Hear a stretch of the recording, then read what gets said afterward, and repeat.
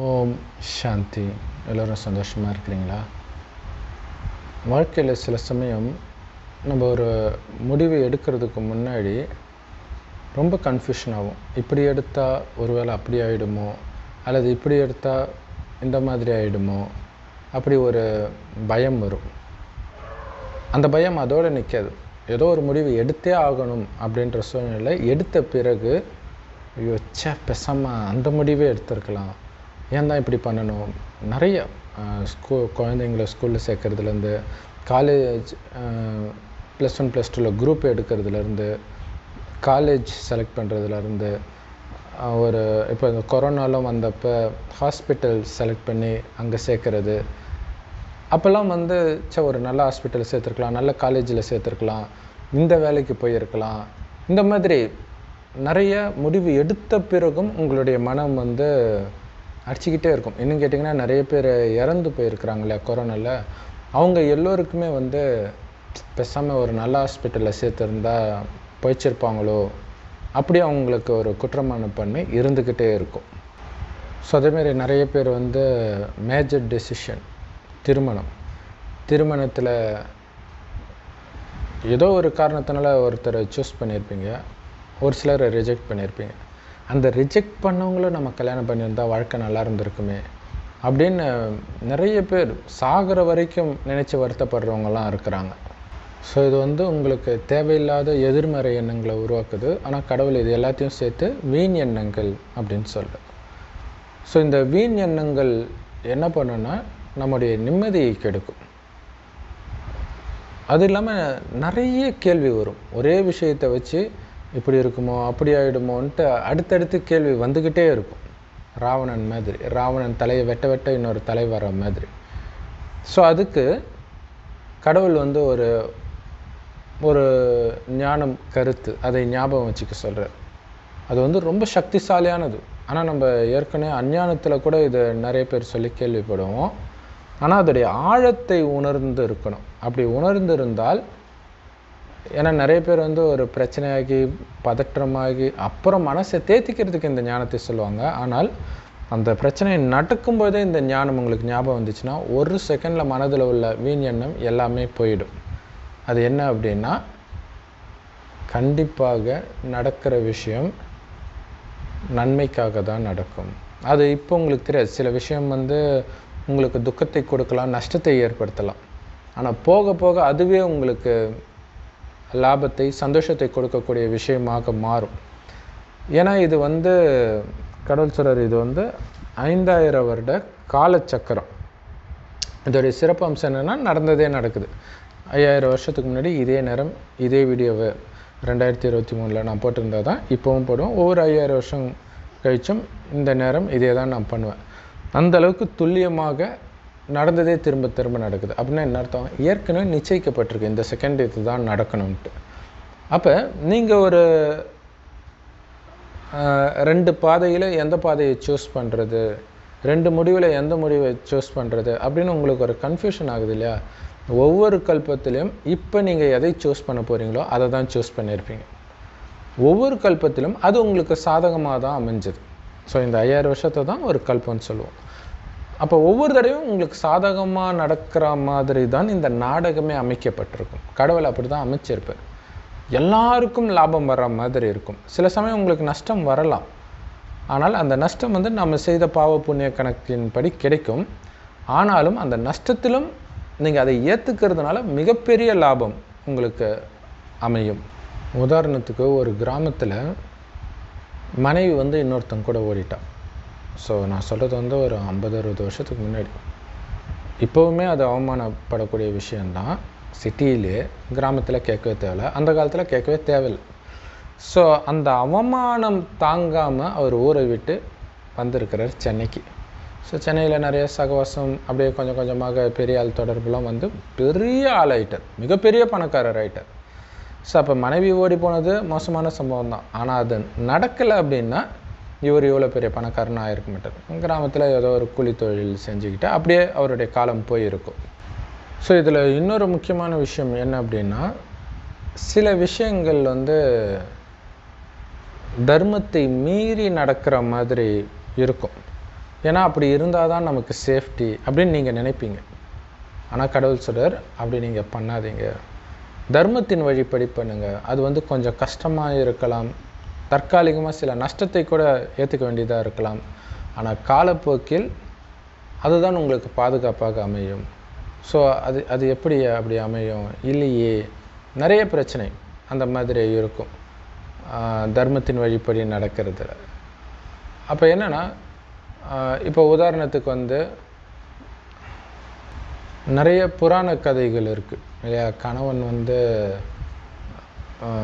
மோசமான ஒரு விபச்சாரி வீட்டுக்கு போய்கிட்டே இருக்கிறான். அதுக்கு வந்து அவனுக்கு உடம்பெல்லாம் நோய் வந்தும் மனைவியை கூடையில் வச்சு எடுத்துகிட்டு போக சொல்கிறோம் ஸோ இப்போ இருக்கிற பொண்ணுங்கக்கிட்ட சொன்னால் வேஷ்டை வச்சு கொண்டுடுவாங்க இல்லையா? ஸோ அந்த புராண கதையில் அந்த பொண்ணு வந்து அழைச்சிட்டு போகிறான் ஸோ இது வந்து நமக்கு ஏற்றுக்கவே முடியாத மாதிரி இருக்கும். இதில் என்னென்னா கணவன் தன்னுடைய கடமையை செய்யலை. ரொம்ப அதாவது எவ்வளவு அந்த பெண்ணுடைய மனதை நோகடிக்கும் மனைவியோடைய மனதை நோகடிக்க முடியுமோ அந்த அளவுக்கு பண்ணுறான் இது வந்து அவனுடைய நடத்தை. அந்த நடத்தை என்னுடைய நடத்தையை மாற்றக்கூடாது. நான் ஒரு நல்ல மனைவி அவ்வளோதான் அவன் எப்படி இருக்கிறான்றதை பொறுத்து நான் நல்ல மனைவியா இல்லையான்றது மாறக்கூடாது. அப்படின்னு அந்த சகோதரி வந்து அவன் கேட்குற மாதிரியே எல்லாமே பண்ணுவாங்க. ஏன்னா கணவனுடைய ஆசையை நிறைவேற்ற வேண்டியது மனைவியோடைய கடமை. அப்படிங்கிற மாதிரி. ஸோ அதுதான் அதோடைய மெயின் தீமாக இருக்கும். இது வந்து நம்மளால் புரிஞ்சிக்க முடியாது. இல்லையா? நம்ம வந்து ஒப்பிட்டு பார்ப்போம். அவன் இவ்வளோ மோசமாக இருக்கிறான். அவனுக்கு ஏன்? இப்போ நிறைய பேர் வந்து இந்த கலை தொடர்பில் விழறதுக்கு காரணமாக சொல்கிறது வந்து என் மனைவியோடைய நடத்தக்கூட தான் சரியில்லை. என் கணவனுடைய நடத்தக்கூட தான் சரியில்லை.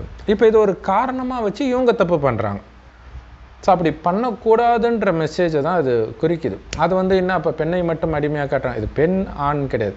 எல்லோருக்கும் பொது தான் அந்த கதையில் ஒருத்தரை தானே காட்ட முடியும். அதனால் பெண்ணை காட்டுறாங்க. ஸோ இதே வந்து பைபிளில் வந்து ரூத் அப்படின்ற ஒரு பெண் இருப்பாங்க. ரொம்ப அழகான பெண். சின்ன வயசுலே கணவன் இறந்துடுவான். ரொம்ப அழகாக இருப்பாங்க.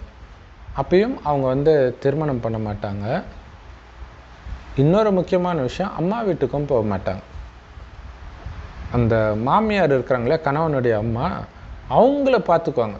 யோசிச்சுப்பாங்களா? திருமணம் பண்ணுறதே ஒன்று காமத்துக்காக இன்னொன்று பாதுகாப்புக்காக. இப்போ இங்கே ரெண்டுமே கிடையாது. இல்லையா? கணவன் இறந்துட்டான் வயதான மாமியாரை பார்த்துக்கிறதுனால இந்த பெண்ணுக்கு என்ன லாபம்? இல்லையா? ஒரு டைமில் அவங்க இறக்க தான் போகிறாங்க அவர் கணவனே இறந்த பிறகு அவனை பார்த்துக்க வேண்டிய கட்டாயம் யாருக்குமே இப்போ அப்படி இருக்க மாட்டாங்க. ஆனால் அந்த பெண் அப்படியே இருப்பாள் ஸோ அது அதுதான் தர்மத்தின் வழிப்படி நடக்கிறது அப்படின்னு சொல்கிறது தனக்கு ஒரு ஆதாயம் கிடைக்குமான்னு யோசித்தா நீங்கள் தர்மத்தின் வழிப்படி நடக்க மாட்டீங்க. தானாவே தவறாதான் நடந்துக்குவீங்க. ஏன்னா எல்லா தப்பு பண்ணுறவங்களுமே அங்கே எப்படி டி டெசிஷன் எடுத்திருப்பாங்கன்னா எனக்கு அது சாதகமாக இருக்கணும். அதனால் அவங்க எவ்வளோ பாவம் வேணாலும் செய்வாங்க. ஸோ உங்களுக்கு சாதகமாக இருக்கணும்னு நினைத்தாலே நீங்கள் நல்லது பண்ணுறதாகவே நினைத்தால் கூட அது கண்டிப்பாக பாவமாக தான் இருக்கும். ஸோ அதுக்கு தான் கடவுள் சொல்வர் சுயநலம் இல்லாமல் எடுக்கிற முடிவு மட்டுமே பாவம் இல்லாத முடிவாக இருக்கும். சுயநலம் உங்களுக்கு சுய லாபத்தை நீங்கள் சிந்திச்சாலே அது கண்டிப்பாக பாவமாக தான் இருக்கும் அப்படிங்கிறார். ஸோ அது இன்னும் துல்லியமாக சொல்லணும்னா இந்த சேவை கடவுளுடைய சேவை மற்றவர்களுக்கு இந்த ஞானத்தை எடுத்துகிட்டு போகிறதுக்காக பலவிதமாக சேவை செய்வோம். அப்படி சேவைக்கு நீங்கள் ஒரு திட்டமிடும்போது அதில் வந்து எனக்கு பேர் கிடைக்குமா புகழ் கிடைக்குமா இந்த மாதிரி நீங்கள் பிளான் போட்டு ஒரு சேவை செஞ்சீங்கன்னா அந்த சேவையில் வெற்றி கிடைக்காது ஈஸியாக கிடைக்காது. கஷ்டப்பட்டு கிடைக்கும் அல்லது கிடைக்காமலே கூட போகும். ஆனால் கொஞ்சம் கூட சுயநலம் இல்லாமல் அந்த சேவை நடக்கணும். ஸோ நம்ம கூட சேவை செய்கிறவங்களுடைய பேர் அவங்க சேவையே செய்யறதுனா கூட அவங்களுடைய பேர் தான் புகழடையுது அப்படின்னா கூட எனக்கு கவலை கிடையாது. எனக்கு சேவை நடக்கணும். அப்படின்னு நினச்சி ஒரு சேவை செஞ்சிங்கன்னா ஈஸியாக வெற்றி கிடைக்கும்ன்றார். ஸோ அப்போ தான் இந்த குழப்பம் வருது இல்லையா? தர்மத்தின் வழிப்படி நடக்கிறதுனால எனக்கு நஷ்டம் தானே? இப்போ மாமியாரை அந்த பெண் ரூத் வந்து திருமணமாகாமல் சரி இன்னொரு கல்யாணம் பண்ணிக்காம மாமியாரையே பார்த்துக்கிறதுனால எந்த விதத்துலையும் அந்த பெண்ணுக்கு லாபம் கிடையாது. அந்த பெண்ணுடைய இளமை போகுது காலம் போகுது எல்லாமே போகுது பாதுகாப்பு கிடையாது. ஏன்னா அந்த மாமியார் எப்போ வேணாலும் இறக்கலாம். ஸோ இந்த மாதிரி தர்மத்தை மீறாமல் நடக்கணும் அப்படின்னா ஆயிரத்தெட்டு வீண் எண்ணம் வரும். இப்படி ஆயிடுச்சுன்னா என்ன பண்ணுறது அப்படி ஆயிடுச்சுன்னா என்ன பண்ணுறது அப்படின்ட்டு. அந்த நேரம் தான் கடவுள் சொல்கிறாரு ஒரே சக்திசாலியான எண்ணம். கண்டிப்பாக நடக்கிற விஷயம் நன்மையாக நன்மையில் தான் முடியும். இது கொடுக்கும் பாரு உங்களுக்கு தைரியத்தை. ஒரு செகண்டில் அந்த வீணியனாலாம் எங்கே போச்சுன்னே தெரியாது. நீங்கள் ஆனால் அப்ளை பண்ணி பாருங்கள் உங்களுடைய வாழ்க்கையில் ஏதோ ஒரு பிரச்சனை வரும்போது கண்டிப்பாக அது நன்மையில் தானே முடியும். நான் எதுக்கு கவலைப்படணும்? ஸோ நிறைய பேர் பார்த்திங்கன்னா இப்போ வந்து குழந்தை பிறக்கிறது இல்லை அப்படின்ட்டு குழந்தை தத்தெடுக்கிறாங்க ஸோ அப்போ அவங்களுக்கு வந்து இந்த மாதிரி நெகட்டிவ் எண்ணம் வரும் அதிகமாக. ஏன்னா திரும்புகிற பக்கமெல்லாம் பெத்தெடுக்கிற குழந்தைய அப்பா அம்மாவை கவனிக்கிறது கிடையாது. அப்பா அம்மாவை அடிக்குது. இதையெல்லாம் பார்க்கும்போது தத்தெடுக்கிற குழந்தை என்ன பண்ணுமோ அப்படின்னு அவங்களுக்கு பயம் வரும். ஸோ அப்போ எடுத்த உடனே இதுதான் மைண்டில் வரும். அந்த குழந்தை எப்படி அதோடைய நடிப்பு எப்படி இருக்குதோ அப்படி தான் நடிக்க போகுது. ஏற்கனவே பதிவானது தான். அதை நம்ம ஒன்றும் பண்ண முடியாது. ஆனால் நடப்பது கண்டிப்பாக நன்மைக்காக தான் இருக்கும். நான் என்னுடைய கடமை அப்பாவாக அம்மாவாக என்ன பண்ணணுமோ அதை தான் நான் பண்ணுவேன். அந்த குழந்தை எப்படி இருந்தாலும் இல்லையா? அந்த குழந்தை என்ன நடத்தைக்கு ஏற்ப நான் மாற மாட்டேன். அப்படின்னு நீங்கள் நடக்கும் பொழுது அந்த குழந்தை மூலம் இல்லாட்டினா கூட யார் மூலமாவது நீங்கள் கண்டிப்பாக பாதுகாப்பாகத்தான் இருப்பீங்க. ஸோ அதே மாதிரி இப்போ நிறைய பார்த்திங்கன்னா எனக்கு தெரிஞ்ச நிறைய அதுவும் முந்தைய ஜென்ரேஷனில் நடந்திருக்குது. என்னென்னா ரெண்டாவது மனைவியாக வருவாங்க லவ் பண்ணி. அப்போ வந்து அவங்க ரொம்ப சாபம் வாங்குவாங்க இல்லையா? முதல் மனைவி திட்டுவாங்க அந்த குழந்தைங்க திட்டம் இவ்வளவும் இருக்கும். அப்படி இருந்தும் இவங்க அந்த முதல் மனைவியுடைய குழந்தைக்கான எல்லா செலவையும் பார்த்துக்குவாங்க. சிலர் வந்து குழந்தைய பெற்றுக்க மாட்டாங்க. அந்த முதல் குழந்தைய முதல் மனைவியுடைய குழந்தைய பாதுகாக்கணுன்ட்டு அந்த கணவன் வந்து சத்தியம் வாங்கியிருப்பார். ஸோ அதை மீறாமல் அப்படியே இருப்பாங்க. அவங்க எல்லாத்தையும் வாங்கிட்டு இவங்களை திட்டலாம். இதெல்லாம் நடக்க தான் செய்யுது. ஆனால் அவங்க வந்து இப்படிலாம் நடக்குமோ அப்படின்னு நினைத்தால் அவங்களால ஒன்றும் பண்ணவும் முடியாது. ஸோ ஏன்னா அது அவ்வளோ காம்ப்ளெக்ஸாக இருக்கும். இல்லாட்டினா வந்து அவங்க பிரச்சனை பண்ணுவாங்க இந்த மாதிரிலாம் இருக்கும். ஆனால் நடப்பது கண்டிப்பாக நன்மையில் தான் முடியும் அப்படின்னு நினைத்தால் அவங்க மனம் அமைதியாக இருக்கும். மற்றபடி இவங்க இவங்களுக்கான வருமானம் வந்து வந்துக்கிட்டே இருக்கும். ஏன்னா இவங்க வந்து மற்றவர்களை சார்ந்து இருக்க போகிறது கிடையாது. ஆனால் பிரச்சனை என்னென்னா எது தர்மம் எது தர்மம் இல்லை அப்படிங்கிற விஷயம் இருக்குது. அது வந்து மனிதர்கள் அடிக்கடி குழம்பிடுவாங்க. ஏன்னா அப்பப்போ மாறுது. சமுதாயம் மாற மாற அதர்மமெல்லாம் தர்மம் தப்பாக புரிஞ்சுக்கிறோம்.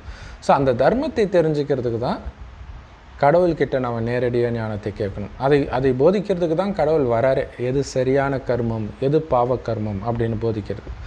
அப்போ கடவுள் சொல்கிறபடி நாம் நடந்துக்கணும். அவருடைய வழி அதை தான் ஸ்ரீமத்துன்னு சொல்லுவோம். ஆஹ் ஸ்ரீமத்துனா உயர்ந்த வழி. அதை வந்து அவர் கொடுக்குற ஞானத்தின் மூலமாக உணரலாம். அந்த ஞானம் வந்து முரளின்னு சொல்லுவோம். எல்லா ராஜோக தியான நிலையத்திலும் முற்றிலும் இலவசமாக கிடைக்குது. ஸோ அந்த முரளியை தினம் தினம் கேட்க கேட்க உங்களுக்கு தெரியும். எது சரி எது தப்பு அப்படின்ட்டு. ஸோ அவர் தப்புன்னு சொன்ன விஷயத்தை ஏதோ ஒரு காரணத்தினால நீங்கள் செய்கிறீங்கன்னா கண்டிப்பாக அதற்கான பலன் வரும். தண்டனை வரும். அதை நம்ம ஏற்றுக்கிட்டு தான் ஆகணும் தர்மத்தின் வழிப்படி. ஸோ ஒரு தடவை அதர்மத்தின் வழிப்படி நடந்ததுனால மீண்டும் மீண்டும் நீங்கள் அதர்மத்தின் வழிப்படியே நடந்தீங்கன்னா மிகப்பெரிய ஆப்பு வரும். அதிலிருந்து உங்களால் தப்பிக்கவே முடியாது. ஸோ நிறைய இடங்களில் வந்து அந்த மாமியார் மருமக ஃபைட்டு இந்த மாதிரிலாம் நிறைய நடக்குது இல்லையா உறவுகளுக்கு இடையில். காரணம்னா நமக்கு அநீதி நடக்குது அப்படின்ற அந்த தாங்க முடியாமல் வெடிப்பாங்க. ஆனால் முஸ்லீம்கள் அடிக்கடி சொல்லுவாங்க அல்லாஹ் நம்மை சோதிப்பதற்காகவே படைத்தார் அப்படின்வாங்க இப்போ வந்து கடவுள் அதுக்காக நம்மளை படைக்கலை. ஏன்னா கடவுள் படித்தது ஐயாயிரம் வருஷத்துக்கு முன்னாடி இந்த பூமியை சொர்க்கமாக படைத்தார். அங்கே சுகமாக தான் இருந்துச்சு. இப்போ கலியுகத்தின் இறுதி அப்படி தான் இருக்கும் கடைசி பிறவியில் இருக்கிறோம். ஏன்னா இது வரைக்கும் செய்த பாவத்துக்கான தண்டனைகளும் அடையணும் இல்லையா? ஸோ அது தேடி வரும். அப்படியெல்லாம் வந்தாலும் என்னுடைய உண்மையான குணமான அமைதியை நான் இழக்க மாட்டேன். மற்றவர்கள் அமைதி கெடுவதற்கு நான் காரணமாக இருக்க மாட்டேன் அந்த மாதிரி காரியத்தை நான் செய்ய மாட்டேன். அப்படிங்கிறதுல மட்டும் நீங்கள் கவனம் வைங்க. இதனால் இப்படி ஆகிடுமோ அப்படி ஆகிடுமோன்ற எண்ணம் வந்துச்சுன்னா நடப்பவை கண்டிப்பாக நன்மையாக தான் இருக்கும் அப்படின்னு முழுசாக நம்புங்க. உங்கள் மனம் அப்படியே அமைதியாயிடும். ஸோ கூடவே வந்து நம்மளுடைய பாவம் அழியுது.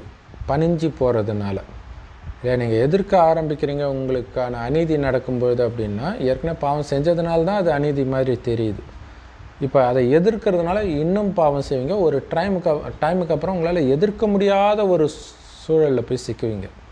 ஸோ அதற்கு எதிர்க்க முடியும் அப்படின்னா என்ன அர்த்தம்? உங்களுக்கு அந்த சக்தி இருக்குது எதிர்க்கக்கூடிய சக்தி இருக்குது. ஸோ உங்களுக்கு எதிர்க்கக்கூடிய சக்தி இருக்கும்போதே நீங்கள் அமைதியாக இருந்துட்டீங்கன்னா எதிர்க்க முடியாத ஒரு சூழ்நிலைக்கு நீங்கள் தலை தலைப்பட மாட்டீங்க. ஏன்னா அதுதான் பயங்கரமாக வலிக்கும். என்னால் ஒன்றுமே பண்ண முடியலன்னு துடிப்பீங்க. ஆனால் இங்கே அப்படி இல்லை. நான் நினச்சா பண்ணலாம். ஆனால் கடவுள் சொல்லியிருக்கிறார் பொறுத்துக்க சொல்லி. இல்லை அனைத்தையும் இழக்கிறதுக்கு நான் தயாராக இருக்கிறேன். இதன் மூலமாக தான் அனைத்தையும் அடைய போகிறேன் எது அனைத்தையும்? ஐந்தாயிரம் வருடத்திற்கு முன்பு இந்த பூமியை சொர்க்கமாக படைத்து கடவுள் அனுப்பினார். ஸோ அந்த துக்கம்னா என்னன்னே தெரியாத உலகம். சிங்கமும் பசும் ஒன்றா தண்ணி குடிக்கக்கூடிய உலகம். அந்த மாதிரி விலங்குகள் கூட இன்னொரு விலங்குக்கு துக்கம் கொடுக்காது. அப்போ மனிதர்கள் எவ்வளோ அன்பாக இருப்பாங்க பாங்க ஸோ அப்படிப்பட்ட சொர்க்கத்தில் வாழ்ந்த மனிதர்களைத்தான் இந்துக்கள் இன்றைக்கி கோயில் கட்டி கும்பிட்ற முப்பத்தி மூணு கோடி தேவதைகள். அப்படி ஒரு தேவதையாக நாமளும் இருந்ததுனால தான் இந்த ஞானம் நமக்கு கிடைக்குது. ஸோ இதை சொல்வதற்கு தான் கடவுள் வரார் கலியுகத்தின் இறுதியில் வந்து கலியுகம் அழிந்து இந்த பூமி சொர்க்கமாக மாறப்போகுது. அங்கே நீங்கள் வரணும்னா சொர்க்கத்தில் இருந்த அன்பு அமைதி ஆனந்தம் போன்ற தெய்வீக குணத்தை மட்டும் வெளிப்படுத்துங்க. அப்படி தெய்வீக குணத்தை நமக்குள்ளே தட்டி எழுப்புகிற வேலையை தான் இறைவன் கொடுக்குற ஞானமாகிய முரளி பண்ணுது. அது எல்லா ராஜயோக தியான நிலையத்திலும் முற்றிலும் இலவசமாக கிடைக்குது. யூடியூப் வெப்சைட்ஸில் இருக்குது அதோட லிங்க் இந்த வீடியோ டிஸ்கிரிப்ஷனில் கொடுக்குறோம். அதை அவசியம் பார்த்து பயன்பெறுங்கள். அதோடைய சாரம் என்னென்னா உங்களை அழிவற்ற ஆத்மானு வந்து ஆத்மாவின் தந்தை சிவபரமாத்மாவை சதா நினைவு பண்ணிகிட்டு இருக்கணும் அவர் செம்பன் நிறமான ஒளி உலகத்தில் நட்சத்திரமாக இருக்கார். ஆத்மான்றது உயிர் அது பூர்வமத்தில் நட்சத்திரம் மாதிரி ஜொலிக்குது. ஸோ ஆத்மாவிலே கவனம் இருக்கணும் ஆத்மாவின் தந்தை சிவபரமாத்மாவை நினச்சிட்டு இருக்கணும். இதன் மூலமாக ஆத்மா தூய்மையாகும். தூய்மையாகும்போது அந்த பாவம் செய்யக்கூடிய குணம் காமம் கோபம் பற்று பேராசை அகங்காரத்தினால உந்தப்பட்டு பாவம் செய்யக்கூடிய குணம் அழிஞ்சு போகும். காரணம் என்னென்னா காமம் கோபம் பற்று பேராசை அகங்காரத்தின் வசப்பட மாட்டீங்க. அந்த மயக்க நிலையிலிருந்து ஆத்மா தெளிஞ்சிடும். ஸோ அப்படி தெளிய வைக்கிறதுக்கு தான் சிவபெருமான் என்னை நினைவு செய்யுங்க. ஏன்னா சிவபெருமான் எப்போவுமே அந்த மயக்க நிலைக்கு போகிறது கிடையாது. காரணம் அவர் நம்மை மாதிரி தாயின் கர்ப்பத்தில் குழந்தையாக பிறந்து தனக்கென்று சொந்த உடலை ஒருபொழுதும் எடுக்காதவர். ஸோ அப்போ நான் அழியக்கூடிய உடம்பு கிடையாது. அழிவற்ற ஆத்மா எனக்கு உடம்பே கிடையாதுன்னு நீங்கள் வெளில வந்துட்டீங்க புத்தினால் அப்படின்னா இந்த உடல் சார்ந்து நீங்கள் யோசிக்க மாட்டீங்க. இல்லை இந்த உடல் சார்ந்து யோசிக்கிறனா உங்களை விட சின்ன பையன் உங்களை திட்டினா சுருன்னு கோபம் வருது. எதனால் கோபம் வருது? இந்த உடலோட வயசை வச்சு அதை கம்பேர் பண்ணுறீங்க ஆத்மா எப்போவுமே இருக்குது. அந்த ஆத்மாவும் எப்பவும் தான் இருக்குது. இப்போ அது உங்களை விட கொஞ்சம் லேட்டாக பிறந்துடுச்சு அவ்வளோதான் இன்னொன்று இந்த உடல் சார்ந்த உறவு. இல்லை அவர் உங்களுக்கு என்ன உறவு? அதை வைத்து கோபம். இது எதுவுமே கிடையாது. இந்த உடலுக்கும் எனக்குமே எந்த உறவும் கிடையாது. நான் சிவபரமாத்மாவுடைய குழந்தை. அவ்வளோதான் அவரும் சிவபரமாத்மாவுடைய குழந்தை. நான் உணர்ந்துட்ட சிவனுடைய குழந்தைன்னு அவர் உணரலை. அவர் மாயின் வசமாக இருக்கிறார். நான் அதிலிருந்து விலகி இறைவன் கையை பிடிச்சிட்டேன். அதனால் நான் தெளிவாக இருக்கிறேன். அவன் மயங்கி கிடக்கிறான். மயக்கத்தில் ஒருத்தன் வளர்கிறத நான் எதுக்கு சீரியஸாக எடுத்துக்கணும்? இந்த மாதிரி உங்களுக்கு நீங்களே பேசும் பொழுது வெளியில் நடக்கிற எந்த விஷயமும் உங்களுக்கு எந்த விதமான துக்கத்தையும் கொடுக்காது. இன்னொரு விஷயம் அதனாலேயே உங்களுக்கு நன்மையும் இருக்குது. மற்றவங்க திட்டுறது துக்கம் கொடுக்கறதுனாலே உங்களுக்கு நன்மை இருக்கும். ஏன்னா நீங்கள் அமைதியாக போயிட்டீங்கனாலே அவங்க உங்களுக்கு கடன்பட்டவர் ஆகிடுவாங்க ஒரு டைமுக்கு அப்புறம் வந்து உங்களுக்கு அவங்களுக்கே தோணும் நம்ம இவ்வளோ மோசமாக நடந்துக்கிட்டோமே அப்போ உங்களுக்கு உதவி செய்யக்கூடிய வாய்ப்பு வரும்போது ஓடி வந்து உதவி செய்வாங்க. ஸோ அப்படி நீங்கள் அவங்கள கடன்காரனாக ஆக்குறீங்க அமைதியாக இருக்கிறதன் மூலமாக. ஓம் சாந்தி. தேங்க்ஸ் ஃபார் வாட்சிங்